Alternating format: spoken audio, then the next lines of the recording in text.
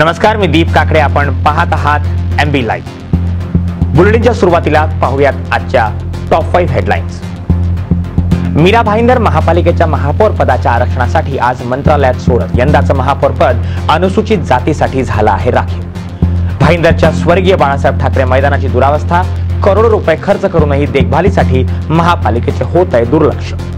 लाखो रुपयांचा गुटखा मिराडमध्ये जप्त मनसेच्या विधानसभा उमेदवाराचा पुढाकार. पेणकरपाडा परिसरात गावकऱ्यांनी साजरी केली देव दिवाळी दिव्यांच्या रोषणाईने सजला मंदिराचा परिसर. आणि पाणी मीटर बंद असूनही बिल तर कनेक्शन असूनही पाणी नाही. मीरा भाईंदरकरांचा मनपाविषयी संताप.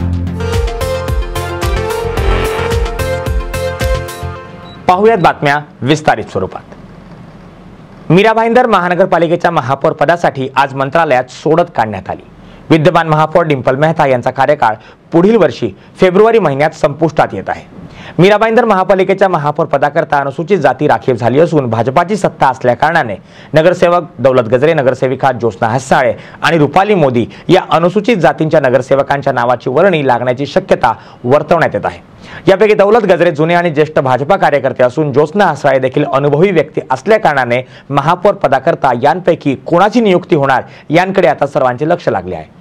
या प्रकरणी आमच्या प्रतिनिधींनी मीरा भाईंदर महानगरपालिकेचे सभागृह नेते आणि ज्येष्ठ भाजपा नगरसेवक रोहिदास पाटील यांच्याशी संवाद साधला. पाहूयात ते काय म्हणाले. मीरा भाईंदरचे सभागृह नेता रोहिदास पाटील आपण सोबत आपण त्यांच्याशी नेमकी बातचीत करूया. काय सांगाल काय निर्णय झाला आणि भाजपाकडून कोणाच्या नावं चर्चेत आहे महापालिका महापौरांच्या सोडत महाराष्ट्र शासनाच्या वतीने मंत्रालयात आयोजित केली होती. नगर विकास विकास खात्याच्या प्रधान सचिव महेशकर मॅडम यांच्या उपस्थितीत हा कार्यक्रम पार पडला. मीराबंदरसाठी जी सोडत निघाली त्याच्यामध्ये एस सी सर्वसाधारण म्हणून ही आरक्षित जागा झालेली आहे. मीरा बंदर महापालिकेत एस सी महापौर बसणार हे नक्की झालेलं आहे. पुढची बातमी स्वर्गीय बाळासाहेब ठाकरे मैदानाच्या दुरावस्थेबाबत. भाईंदर येथील स्वर्गीय बाळासाहेब ठाकरे मैदानाची दुरावस्था झाल्याचे आढळून येत आहे. मीरा भाईंदर महानगरपालिकेतर्फे पाच सहा वर्षांपूर्वी सुमारे पाच करोड रुपये खर्च करून या मैदानाचे सुशोभीकरण करण्यात आले होते. या मैदानात दररोज मोठ्या संख्येने लोक आपली उपस्थिती सुद्धा दर्शवतात.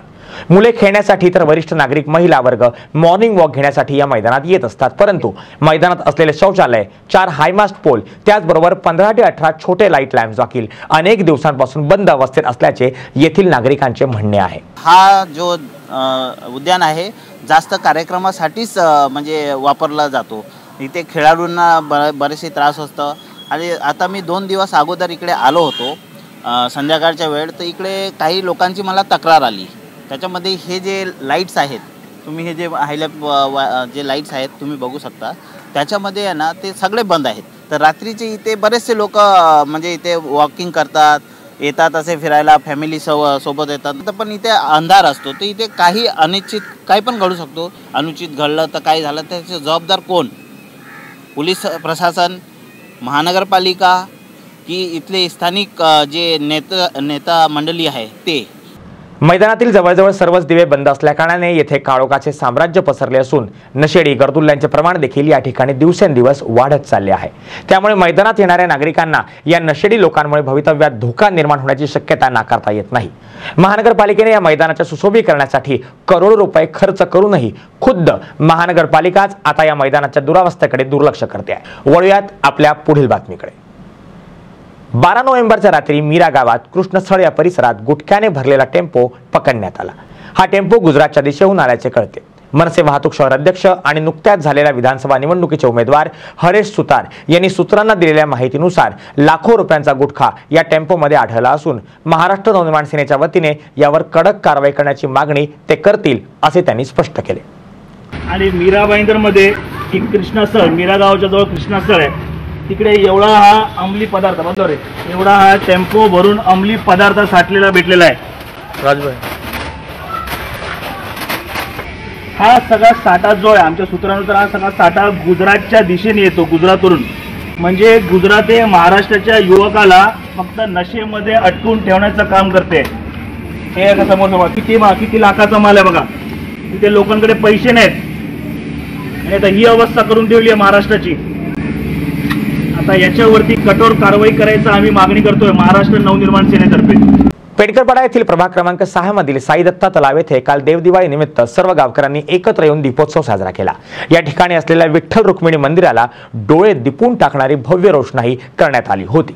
या निमित्ताने साई दत्ता तलाव देखील संपूर्ण दिव्यांनी झगमटात नाव निघाला होता. मंदिराच्या परिसरात विविध रंगांनी नटलेल्या रांगोळी साऱ्यांचे लक्ष वेधून घेत होती.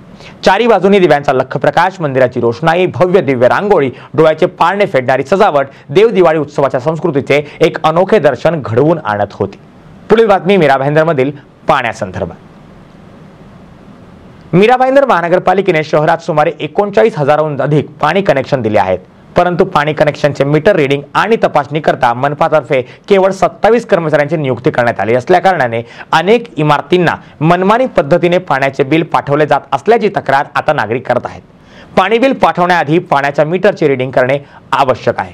परंतु मनपाकडे फक्त सत्तावीस कर्मचारी असल्यामुळे परिणामी या कर्मचाऱ्यांना सर्व इमारतीत वेळेत पोहोचणे अशक्य होत असावे. अशा परिस्थितीत कार्यरत असलेल्या मीटर सोबत बंद मीटरचे देखील मीटर बिल लोकांना देण्यात येते. या प्रकरणी नागरिकांच्या तक्रारीचे योग्यरित्या निवारण करू असे जलविभाग अभियंता सुरेश वाकोडे यांनी स्पष्ट केले. सदर मीटरची देखभाल सोसायटीची जबाबदारी असून पाणी वापरत नसेल तरी बिल येऊ शकते असंही वाकोडे यांनी या ठिकाणी अधोरेखित केलं. तुर्तास वेळ झाली येथे बुलेटिनमध्ये थांबण्याची. तुम्हाला देखील तुमच्या आसपास अशा काही समस्या असतील परिसरात काही योजना होत नसतील तर त्याची माहिती आम्हाला अवश्य द्या. आमचा हेल्पलाईन नंबर आहे double nine two zero seven five zero seven five zero आणि अन्य बातम्यांसाठी सबस्क्राईब करा आणि पाहत रहा M B live unfold news